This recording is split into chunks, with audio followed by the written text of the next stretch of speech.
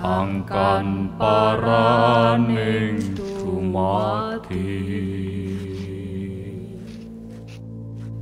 sedaya saking Gusti. Sedaya gesang ing lebur dening pangastuti Pengilah ngawit namastu.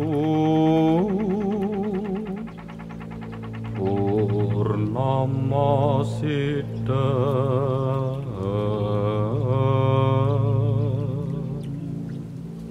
Sekaring bawana